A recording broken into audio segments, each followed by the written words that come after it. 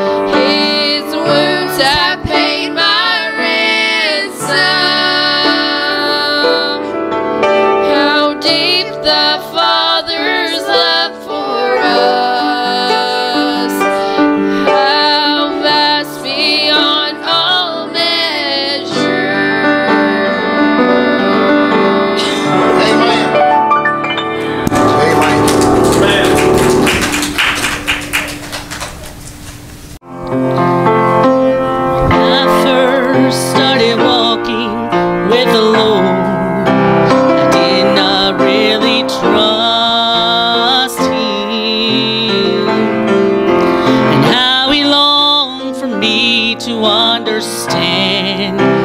All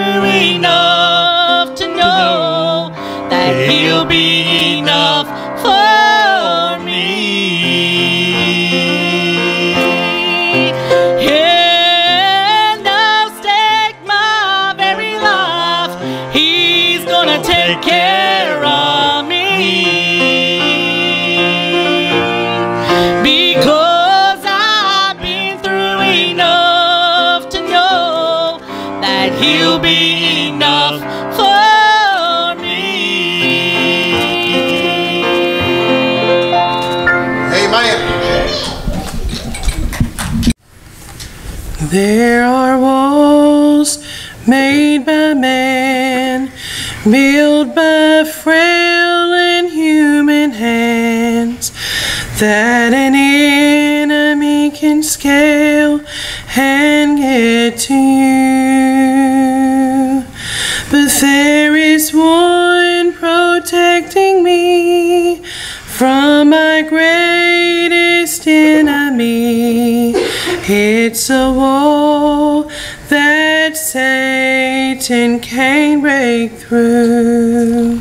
Sometimes a wall of grace, sometimes a wall of faith, other times it's sweet mercy that I need.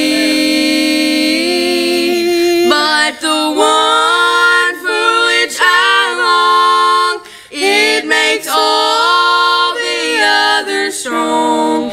I need a wall of prayer surrounding me. Oh, my brother,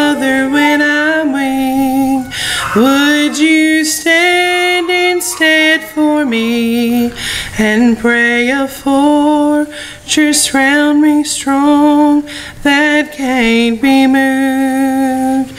And I promise you today, when I bow my knees to pray, I'll do my best to build a wall of prayer for you. Sometimes a wall of grace, sometimes a wall of faith, other times it's sweet mercy that I need. But the one for which I long, it makes all the others strong. I need a wall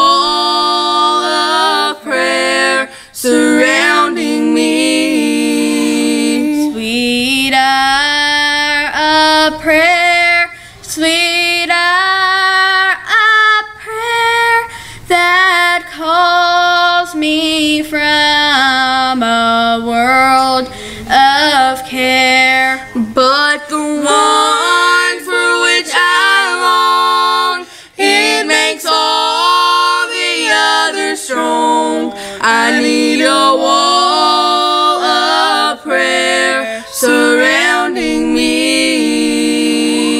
I need a wall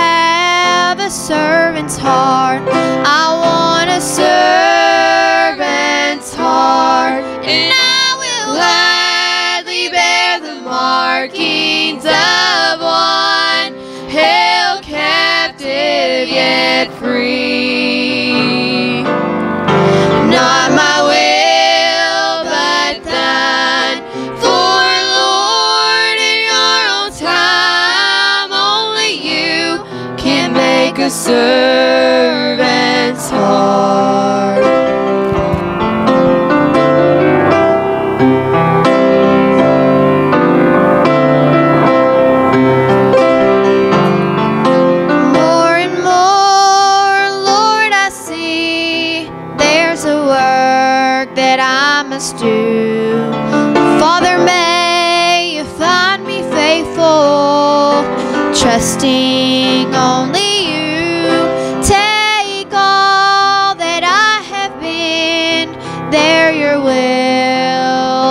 start, and I'll serve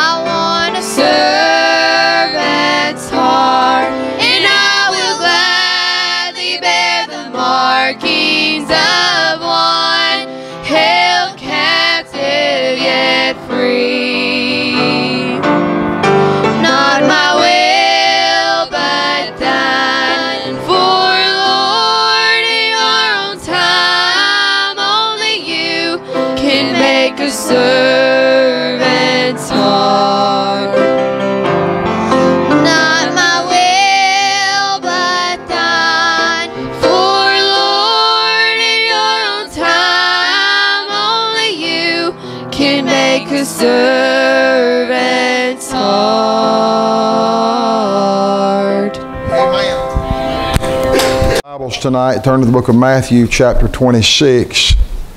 Matthew, chapter 26. We're going to begin to read with verse number 20. We're still looking at basic Bible doctrine, but what we're looking at last week, if y'all recall, we talked on the, the, the doctrine of water baptism, of believers' baptism. And uh, it's hard to uh, to uh, have to teach on just believers' baptism without uh, without getting on some of the other forms of or the other form of baptism that the Bible teaches. And I know that in in uh, Bible college that when we studied advanced Bible doctrine, uh, that uh, that you heard a lot about all the different baptisms in the Bible that's mentioned. I believe that Brother Jackson Smith said nine baptisms and and uh, and all of that. And I'm not here to to teach and to try to tell you that all of that. I'm talking about basic Bible doctrine for the church. And there's two baptisms. There's spiritual baptism and there's water baptism. And that's all there is. Now I, I know that the Bible does say that you know, when Moses led the, the children of Israel across the Red Sea, that's a type of, of, of baptism. It is, a, it is a type of baptism. They were uh, they, they, there. There's different things. There's a baptism of fire. Y'all know there's a baptism of fire? Y'all, and it's not a, yeah, there's a baptism of fire. Bible, just what Jesus said, matter of fact. He said that. But it's not what the false religionists say it is and what other folks, it's not a, it's not a, a, a, a, some certain gift that you get. If you study the scripture, you'll find the baptism of fire is, is hellfire. That's not a baptism I got to I got to worry about, and I'm going to be taking part in. Uh, that's not something that I'm going to indulge in, and I thank God for that. Uh, so we could go and look at many different things, but this what we're studying is basic Bible doctrine. We're not talking about advanced Bible doctrine, and and uh, I know a lot of people got lockjaw last week because I said that there was two baptisms. And I'm saying this week there's two baptisms. So I'm still not changed on that. Amen. I'm still the same on that. And I'm, uh, I'm not going any, any further on that. I, and, and, and I'm not disagreeing with nobody. That's not what I'm here to do. And, and uh, on, on the subject tonight that we're teaching on, uh, there's everybody don't see this thing the way I do. Everybody don't don't believe it the way I do. Don't everybody don't don't believe it. I, am we're teaching on on the doctrine of the Lord's Supper tonight, and uh, and everybody, not all the people I fellowship with, don't see this the way that I see it. They don't practice it the way I, I practice it. But that's their opinion, and that's their that's their prerogative. I'm just trying to do what I believe that the Bible teaches, and I'm saying that that they're probably trying to do what they believe the Bible teaches also. Uh, so that's the word it is. There's a lot of things we cause that we have dividing lines on it. God said we ought not divide over. We ought not split hairs about. Uh, you know, there's just some things it's, uh, that if you don't believe like I do, then, then it really don't matter. Now, if you, if you don't believe salvation comes about like I believe salvation comes about, uh, then me and you got a problem. And we can't, we can't walk together. We can't, we can't be agreed together there. So, uh, but there's a lot of things we can just look at and we can say, you know what? You've got your opinion, I've got me. And me and Brother Tim was, and I was telling Brother Michael him this last night. We were sitting on a, on Monday night of, of, a meeting, and everybody that's been through Bible college know Brother Tim teaches and believes that John 20 there, that uh, somewhere around John 20 is where the church began. Uh, it was after that Jesus said, up, upon this rock I'll build my church, and the gates of hell shall prevail against it. And that's where they, they teach it. And uh, we were discussing that, and uh, and he said he mentioned that, and I said, "Well, brother Tim, I don't agree with that." And uh, he said, "Oh, really?" I said, "Oh, really?" And I said, uh, "I believe that. I believe in the definition of church. I believe a church is what I believe it started when the Lord done what the name ecclesia means." The word ecclesia means a called out assembly. That's what it means. When did the Lord, when did the Lord call them out? He began to call out on the seashores of Galilee. So there's where I believe the origin of the church is. Now, let me, let me tell you this. Does it make two cents? Well, all we know is there's a church, right? And what matters is there's a church. And uh, we, can have, we can have differences of opinions about that, and it really does not matter. There's folks that we can feel. There's folks that don't believe that, that you and me know that don't believe that, that the church is going to be raptured before the tribulation. They really, they really don't. They, they believe that the church is going through part of the tribulation.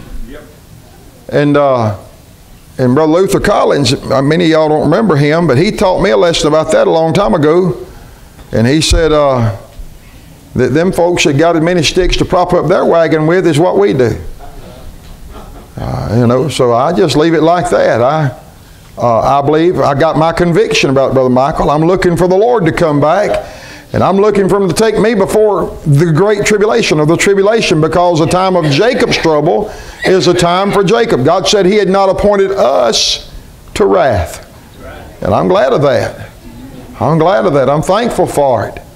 Uh, but am I going to just say that's a heretic? Because no, he's not a heretic. We got differences of opinions, and uh, but we just got to learn to get beyond that. Some things we can disagree on, Brother Michael, but some things we can't. Uh, tonight, what we're looking at, I don't, I don't know why I went through all that, but I did anyhow. Uh, tonight, we're looking at basic Bible doctrine, the doctrine of the Lord's Supper. Matthew chapter 26 we're going to begin to read with verse number 20 and read down through verse 25, Matthew chapter 26, and beginning to read with verse number 20. Now, when the even was come, he sat down with the twelve. And as they did eat, he said, Verily I say unto you, that one of you should betray me, shall betray me. And they were exceeding sorrowful, and began every one of them to say unto him, Lord, is it I? And he answered and said, He that dippeth his hand with me in the dish, the same shall betray me. The Son of Man goeth as it is written, as it is written of him, but woe unto the man to whom the Son of Man is betrayed. It hath been good for that man if he had not been born. And Judas, which betrayed him, answered and said, Master, is it I? And he said unto him, Thou hast said. Now you say, What in the world are you reading that for the doctrine? You be seated. For the doctrine of the Lord's Supper for, because we find in, in the midst of the Passover. Now there's seven Passover feasts. Uh, there's, that's the reason a lot of folk get the feet washing mixed up, is because they read the part where it said, In supper being ended, and Jesus not having, or uh, but Satan having put in the heart of Judas Iscariot uh, to betray him, and they think that means that that's the Lord's Supper, but it's not. That's not even on the same night. It's not the Lord's Supper. That is a Passover supper uh, that's taking place. But you can go on and begin to read down there in verse number, uh, uh read, uh, read on down verse number 26. And as they were eating, the Bible said Jesus took bread and he blessed it and he brake it and gave to his disciples and said, Take, eat. This is my body. Now, notice this, and as they were eating, that as they were eating, in the midst of this meal, the Lord begins to institute something. The Lord begins to put something into place, and He took the bread and He brake it, or He blessed it and brake it, and gave to the disciples and said, Take, eat, this is my body. And He took the cup and gave thanks and gave it to them, saying, Drink ye all of it. For this is my blood of the New Testament, which is shed for many for the remission of sin. Uh, but I say unto you, I will not drink henceforth of this fruit of the vine until that day when I drink it new with you in my Father's kingdom. And when they had sung an hymn, they went out unto the Mount of Olives. Now, what we find here is, uh, is the institution or the, uh, the, the, the, the instituting of the second ordinance of the church. Now, the, the first ordinance is what? Baptism. Baptism. And is there an order to this thing? There is an order to it. You don't partake of the Lord's Supper without proper baptism and, and being a, a faithful member of the New Testament church. So, when you think about the Lord's Supper today, now let me say this, and, and I, we use the word loosely a lot of times. We say the word communion. And I, I, I, you know, I know that probably we ought not say that word. We ought not call it communion. We ought to, uh, because we ought to constantly be in communion with the Lord. We ought not just wait to uh, one day a, a, quarter or one day a year or one day. Uh, we ought to be in constant communion uh, with the Lord. But there's a, so uh, tonight we're going to call it the Lord's Supper, the Lord's table. Uh, that's what a, a, lot of folk and a lot of teachings in the Word of God says about that. There's a lot of false teaching about the Lord's Supper. There's a whole lot of false teaching about it, and it's very, very prominent in the world today. And a lot of folk know about the Lord's Supper, and a lot of folk know about the, about this thing, but uh, but uh, they they don't know what it represents and what's going on. One thing, uh, uh one of the false teachings I, I find is uh, as we know that, that, uh, that there's uh, uh, the, what the, the, the, Roman Catholic Church, they would, uh, uh, they would take the body and, or take the bread and, and they, when they eat of that bread, they think that that bread actually becomes the literal flesh of the Lord Jesus. Uh, and you know, when you ask a Catholic person, have you ever received Christ? And they'll say yes because they think they've received him when they've ate of his flesh. That's what they do. I right? They receive him every time they come together, every time they meet. Well, they got to. If that's him, I mean, if, if that's that physical part. If that's the way they receive him, just as soon as they get through indulging on it and it's digested and passed, they don't have him anymore. Okay? So uh, that's, uh, and I, you say, well, preacher, you oughtn't to go there. Well, I'm, I'm just telling you, showing you the foolishness in that doctrine. The foolishness in it. Uh, because uh, uh, that, that bread is thought, what is it, the transubstantiation or something like that they call it. I believe that's what they call that, that, that thing. That, that at the moment that they put that bread, that cracker in their mouth, that it becomes the literal flesh of Jesus. In other words, it's cannibalism. That's what it is. They also believe that the blood, uh, that, that, that wine that they drink, which is fermented, that that wine actually turns into blood when they partake of it. So there's not only cannibalism, there's vampirism, if that's what you want to call it. Okay? They, they think that actually becomes because they're receiving Christ. And here's one thing, like Brother Joe just said every time they come together, they do this. They don't have a service, what they don't get a cracker and some wine. And I don't know, I, I don't know, I'll never have observed it with them or nothing like that and wouldn't do it if I had the opportunity to, uh, because don't believe that uh, either. Uh, but but uh, I think it's a lot more to do with the priest getting to drink the wine than what it is anybody else, all right? Uh, and, and, I believe that's a, a, whole lot more to do with it there. But, but there's a, a lot of untruths about the Lord's Supper, a lot of false teaching. Uh, there's a lot of truth about the Lord's Supper. And that is, it's the second ordinance of the church. So tonight, what we're going to look at is the simple truth about the Lord's Supper. We're going to look at about five, six things, I think, about the Lord's Supper, and we're going to be done pretty quickly here. This just something I teach every year. It's repetition, and I'll teach it now. Probably won't teach it again uh, when, in, in, a couple of months when before uh, we have the Lord's Supper and and, and everything. But uh, but the let's look number one at the institution of the Lord's Supper. We just read this in Matthew 26, in verse number 26. The Bible said, and as they were eating, now they were in the midst of the Passover. Passover was being celebrated. Uh, and the, the, remember the Lord, remember we, we talked about that Passover a few Sunday mornings ago when we preached about the, the blood and the, and the offering of the blood and that Passover. The Lord commanded the children of Israel to, look to observe that, that thing forever. That's what He said for them to do, to observe it forever. Now, uh, what, what happened? Uh, the, the, reason the children of Israel still observe it and we don't observe it is because they, their Messiah hadn't come yet, they don't think. They're still waiting on Messiah to come, and well, we know that the Messiah's already came. And he's already paid the price. He's already offered his blood, so they don't have to go through this thing anymore.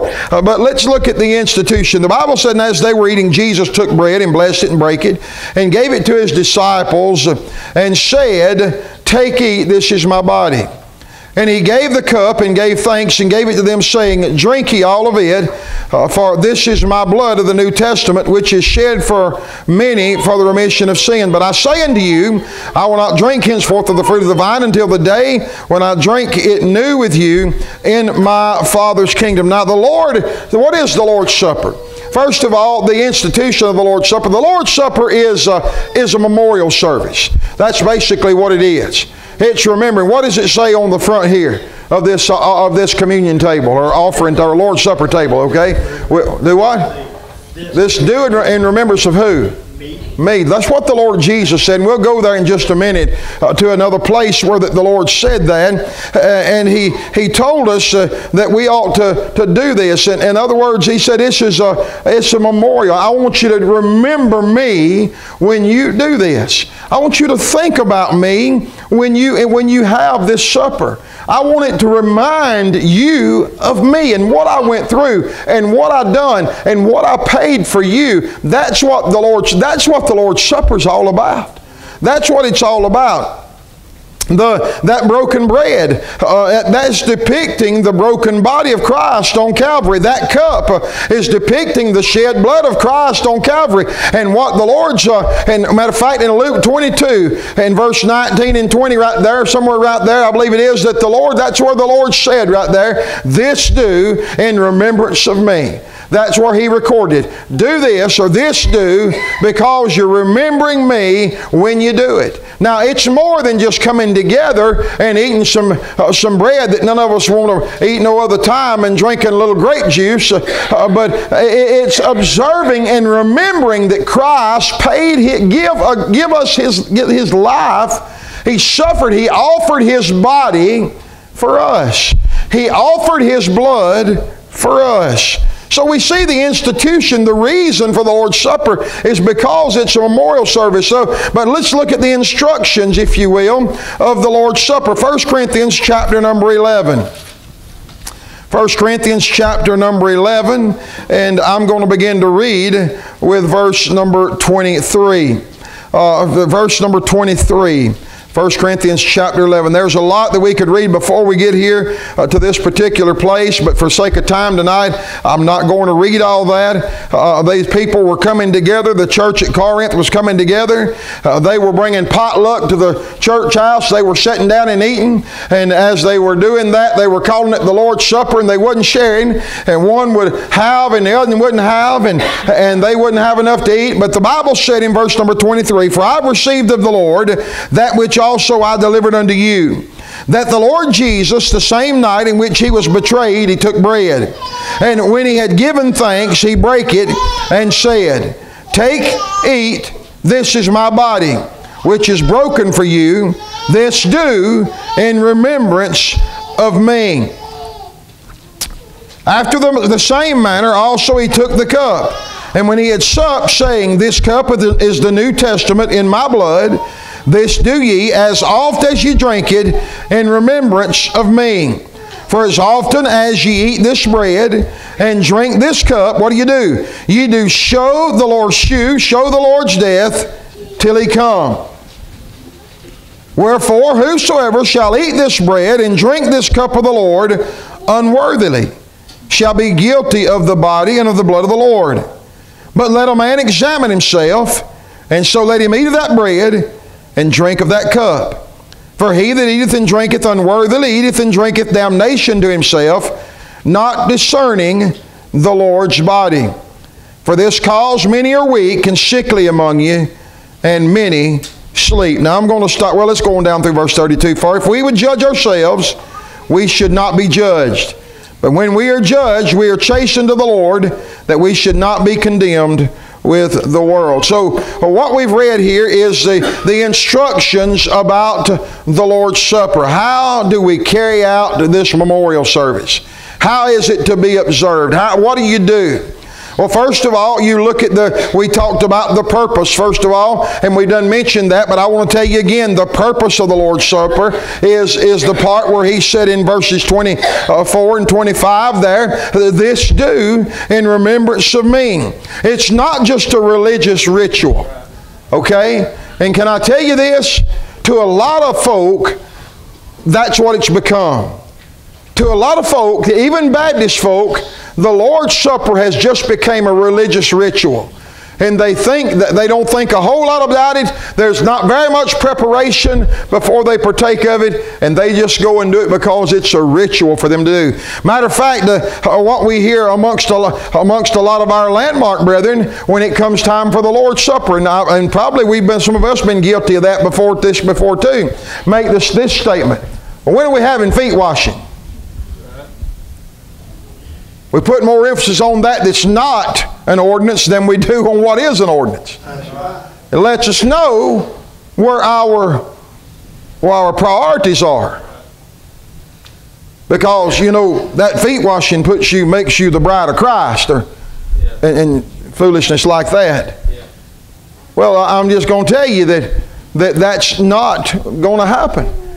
And I, even as much as I, I believe and I practice the feet washing, I practice it, I, I believe it. I, I, I am a feet washing Baptist, uh, and I'm not a foot washing Baptist, I'm a feet washing Baptist, okay? I got more than one foot, and uh, I'm on, uh, we're going to do both of them.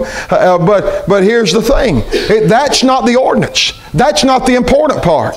That's not the part that God instituted and said, I'm commanding you. I'm, not just, it's not, this here is not an option. I am commanding you, the church, that you observe, you do this, you remember me as long as you live. Every time you do it. Every time you do it. This is the ordinance that he give unto the church. Uh, it, it, this, this thing is, uh, is, is bigger. It's not just a religious ritual, it's, but, but neither is it a part of salvation. It's not part of salvation. You don't get the you don't get Jesus when you eat that bread. And you don't get Jesus when you drink that juice. But it's an act of remembrance and a reflection upon the suffering death that Jesus went through. Remembering when we take that when we take that piece of bread, we ought to remember. We ought to remember, Brother Joe, those lashes that they put on his back. That's right. We ought to remember taking that crown of thorns and beating it into his brow when we take that piece of bread. That's what ought to come to our mind. And remember that God in heaven done, God allowed his son to do this for me. I had a, an old gentleman, he died, he's dead now, and I, I know I've told you this before in teaching on this, Brother Ken Whittington. I pastored Brother Ken at Bethel Hill Church, and, and he blessed my heart. It come, it, it come the Lord's Supper time, and, and Brother Ken sat over here on the end, and they, they'd pass, that deacon would take that plate down there. And Brother Dean, before he'd, he'd get on his knees, bro, brother, he's an older gentleman, he'd get on his knees and he'd reach in that plate and get that bread, tears running down his face as he took that piece of bread. And he'd wait for us to, he'd stay there on his knees until he got there, said, let's eat. And he'd put it in his mouth. Brother Michael crying like a baby. I mean, just, he was very reverent in it. It meant something to him. It meant something to him. It's more than just a piece of bread. But it was, he remembered what Jesus done so he could do that. He remembered, he was remembering what Jesus done so he could, so he could enjoy and take part of this supper that the Lord said, do it in remembrance of me. This, this, this, uh, this time of, that we have called the Lord's Supper, it's, uh, we remember his suffering. We, we, uh, we remember that he, he gave his all for us. Uh, let's look at the products used in the Lord's Supper. First thing I want you to notice, I want to, I want to tell you this, and I, am going to prove to you in just a moment because there's a lot of false teaching. I'm, I'm even hearing about it amongst Baptist folk today that's saying that that the the the fruit of the vine that we use during the Lord's Supper is they, they actually using wine, fermented wine. And they said that's what the Lord used. Well, I'm going to just differ with you.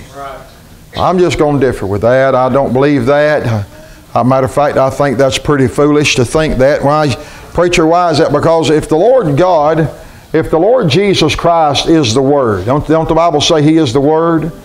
In the beginning was the Word, and the Word was with God, and the Word was God. And verse 14 it said, In what? The Word was what? Made flesh and dwelt among us, that being Jesus Christ. Well, if Jesus Christ, Brother Joe, is the Word, Jesus Christ Himself said in Proverbs 20 and verse 1 that wine is a mocker, and strong drink is raging. And whosoever is not deceived, whosoever is deceived thereby is not wise. So this should eliminate any thought in our mind that Jesus had fermented fruit, fruit of the vine for the supper. There's no way that he would have beguiled or went against anything. You know what? Matter of fact, in order to ferment anything, it has to be tainted with something. Fermented fruit of the vine, fermented grape juice has to be tainted with something. And my, the blood of the Lord Jesus wasn't tainted. It was pure, brother. It was able to take away the sin of the world. It was pure blood. I mean, I mean precious blood. I mean sinless blood. So anything that leaveneth, leaven always equals what? In, in the Word of God, it always speaks of sin. And friend, I'm telling you tonight that that the Lord didn't use uh, he, he didn't use fermented wine. He used unfer, unfermented fruit of the vine. That's what he that's what he done when he produced the products that was used during the Lord's Supper. Not only is there unfermented fruit of the vine, but there's unleavened bread. This unleavened bread that we talk about, that it speaks of the sinless life of Christ. Unleavened unleavened. There was no sin there. It was pure. Uh, it was uh, sinless. It was, uh, there was nothing that tainted, again, uh, the Lord Jesus Christ and His life. Perfect, above, re- above reproach. He was perfect, the, the Son of God. So, this speaks of the, of the sinless life of Christ. Let's look at number three, and the preparation for the Lord's Supper. Now, in preparing for the Lord's Supper, there's three looks to take before taking the Lord's Supper. There's three looks that we ought to take. First of all, uh, we ought to look backwards. I didn't mention that. We ought to look backwards. We ought to look back at what Jesus suffered. We ought to look back at what Jesus did. We ought to remind, we ought to remind ourselves that He suffered and bled and died. It ought, to, it ought to mean that, that to us when we, when we come and, and observe that thing here in a, a month or so. When we come to do that, we ought to, we, we ought to take it to heart and say, boy, and this is what Jesus did. So we ought to look backwards at what Jesus did. Uh, number two, we ought to look forward, and that is to his second coming. Matthew 26 and verse 29, uh, he said this. He said, I will not drink hereafter of this fruit of the vine until that day when I drink it new with you in my Father's kingdom. So he's saying, not only do you look back and remember what I did, but I want you to look ahead and remember what we're going to do here one day. One day before long, we're going to we're to sit down at my Father's table and we're going to sup together again. Uh, well, that ought to cause us to look ahead and to think. But, but not only do we look behind and, or look backwards and look forward, but we ought to look inward. And this is probably the, uh, one of the greatest places we need to look. Look inward. That means that we'd examine ourselves. Now, verses 28 and 29 of 1 Corinthians 11, uh, let's look here just a minute. But let a man examine himself. And so let him eat of that bread and drink of that cup. For he that eateth and drinketh unworthily eateth and drinketh damnation to himself, not discerning the Lord's body. Now, when you hear these scripture, when you think of this, there's a lot of folk that take this so out of context and say, well, I'm not worthy to eat the Lord, to, to, to have the Lord. And, and can, we, can I tell you all this? You're exactly right. There's not a one of us that's worthy to receive what the Lord done for us.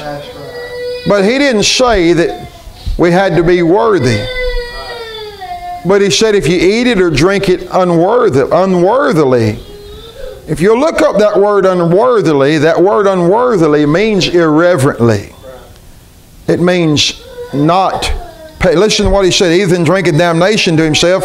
And he tells you, he finishes this thing.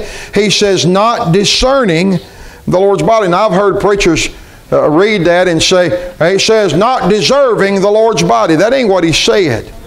That, that says, in your King James Bible, look at it and tell me, if it says deserving, then throw it away because it's not the right Bible. Okay? It does not say deserving. It says discerning. And to discern something, that word comes from, comes from, the, uh, from the Greek. That word is diakrino, means to understand. Not understanding what the Lord went through for you not understanding the suffering that Christ went through. Not understand. That's what he's saying. Now, I've, I've, I've been in, in the Lord's Supper before, and I've seen people partake of the Lord's Supper, Brother Michael, very irreverently. Very, very irreverently. They would think they'd be laughing and picking and carrying on and, and, and go to chewing the right most time that bread. It's going when you put it in your mouth, what's it going to do? Everybody's going to eat it at the same time. It's going to crack and crunch and, they thought that's the funniest thing in the world. They can eat Fritos all day long and never get tickled. You know, but but that just somehow or another that just tickles them to death, and and that's really that's irreverent. That's that's not. But you ought to, we ought to we ought to partake of this thing, knowing what the Lord has went through for us. He said, "For this cause." In verse number thirty, many are weak and sickly among you and many sleep. So when we talk about looking inward, that means that you examine yourself. You examine yourself. Somebody said, Preacher, you tell me to examine myself, and I find out, you know what the biggest cop out is when it comes to the Lord's Supper, Brother Michael? And I don't know how it was where you come from, but here you can have folk come to church all year long, be faithful as clockwork, have the, have, have the Lord's Supper, and they, they want to take out because they say, Oh, I ain't worthy to eat that. I ain't worth. You know what? You ought to get worthy. Amen. That's right. You ought to get worthy.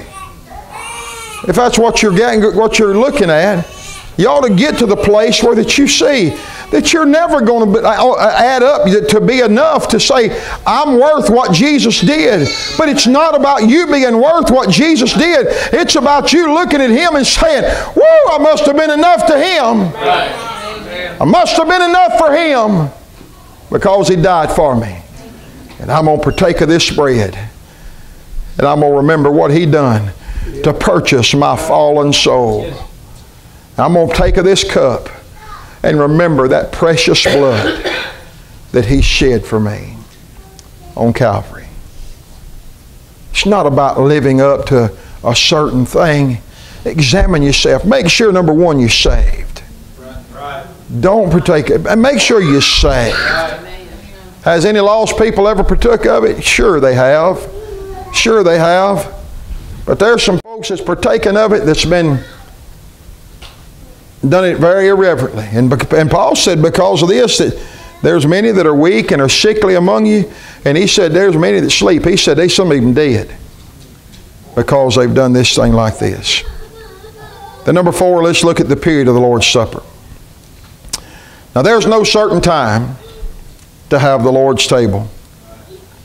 But Paul said in 1 Corinthians 11, 25, he said, as oft as you drink it.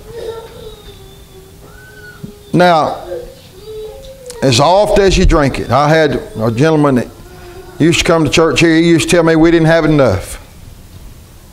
And uh, he had Catholic roots. And I said, Well, how much is enough? Well, you ought to have at least once a month. And I said, No, I ain't doing that. Uh, why is that, preacher? Because sometimes it loses the meaning. You do it so often that it becomes ritual instead of relationship. Now, I'm not saying that we that we can't we can't have it more than once a, a year, because we can. We do it once a year right now, right the Saturday night before Easter Sunday. That's when we do it. No particular reason. That's not when Jesus did it, okay? But that's just when we. That's just what, what the time we do it, okay? And uh, that's just the way things are. And I don't want you to think that there's a certain time. Well, well we've got to do it the Saturday night before. That we do. We you hadn't got to do it then. Okay. We can do it the first Sunday of the new year. All right, we can. We if that's what we decide we're going to do. There's no. What I'm telling you is there's no certain time. Okay. Uh, there's no, there's no certain time. Just as oft as you do it, as oft as you do it, I want you to remember me. Whenever you do it, I want you to remember me. Whenever you do it, if it's often, if it's not very, I know some churches don't hardly ever have don't have don't have it in years. Really, I'm serious. I believe you ought to have it. Okay, but the, but the, every church is is that's that's left up to the church itself, the pastor, how they want to do that. So but I do believe this. I don't believe it needs to be done so often that it becomes ritual rather than a commandment. But it should, uh, we, but should observe it enough that we stay familiar with its meaning. We ought to stay familiar with what it means. The number five, let's look at the participants. And this is where somebody falls off the boat here and there. The participants of the Lord's Supper. I'm not asking everybody to agree with me. But I'm just telling you how it's done here, okay? And when you start pastoring here, you do it the way you want to. But while I'm pastoring here, we're going to do it this way, okay? And that is, I believe it's the ordinance. Who is that ordinance? That ordinance is given to who? The church. First of all, saved folk observe the Lord's Supper. First of all, saved folks what observe it. It's not given to the world. And let me say this I don't believe you ought to open it up to the world. All right? I don't believe you ought to open it up to the world. Now, let me say this there's no person or group or family that has the right to observe the Lord's Supper apart from the church. You hear what I'm saying? We make unleavened bread and we're going to have it at the house. Do it if you want to, but it's not the Lord's Supper. It's given to the church. All right? It's, that, that's, that's whom the Lord commissioned and ordained to observe this supper. The local church. I believe saved folk observe it, and I believe it's for the local church. Every church can have liberty to do as they please. But my conviction rests on the fact that it's given to the local church. That's who the Lord gave, who He is speaking to. I've often thought about this, and I'm not asking you to, to agree, but I, I've often thought about how many folk were, were, were there at the, at the, uh, on, on, the, on the Mount of Olives when the Lord was ascended into heaven. If I ain't mistaken, I believe somebody said there was, a, I believe one of the writers said it was above 500, wasn't he? Something like, wasn't there above 500 that was there? That, Paul, yeah, Paul said that. And, and uh, so they, them folk must have been, I don't believe the Lord would just appear to anybody. He didn't. He appeared to those that were saved. That's who he, that's who he appeared to. But when he instituted that supper, there was 11 that were there that partook. Well, you say there's 12 there. As well, counting Jesus, it was. Judas didn't partake of it. Why? Because he wasn't he wasn't saved. The Lord told him to get on. That thou doest do quickly. So I, I, I look at this now. There's churches, there's brethren that I fellowship with and I love that in the church they pastor, they open it up to what they call close. Anybody of like faith and order, they have, they, they'll, they'll open it up to. And they'll say, y'all can partake of. We, uh, the, the, the whole, uh, Jimmy, the whole landmark work, most of them's that way. I mean, they, they call it, they have, have, they say we open up to, they say they close communion, but they'll, I've seen them get on the phone and go to calling their calling folks. Hey, y'all want to come have communion with us tonight? No, you don't do that. You don't do that. That's not right. You ought to have the Lord's Supper, and I believe it's for the local church. And that's the way it is here. You say, Preacher, what do you mean? I mean that you need to be a member. If you're going to observe the Lord's Supper here, you're going to be a member here. You're going to be a member here. And I don't mean you say you're going to hurt folks' feelings. No, not going to hurt folks' feelings. Why is that? How come you ain't going to hurt their feelings? Because we're going to have it on a night when we ain't got to hurt their feelings. That's what we're going to do. We're going to have it on Saturday night before Easter Sunday. Church is going to come together and we're going to observe the Lord's Supper. Somebody said, well, preacher, I want to, I want to have it. Are you saved? Well, yeah, I'm saved. Are you a member of the church? Well, well, if you're a member of the church, you ought, if, you, if, you, if you're saved, you ought to be a member of the church. Amen. You ought to be. That's where God gets glory from. He gets glory in our life through the church. Ephesians 3.21. That's where God gets glory at. He, he, he paid the price for, for mankind, but he listen, he, he the Bible said the husbands love your wives even as Christ loved what? The church. I'm telling you what, the church is important to God. It's important. It ought to be important to us. It's important to be numbered with the church. It's important to be numbered. I'm done. I'm through with that tonight. I don't know. You say, preacher, that's kind of, uh, kind of cut and dried, ain't it? It is for me.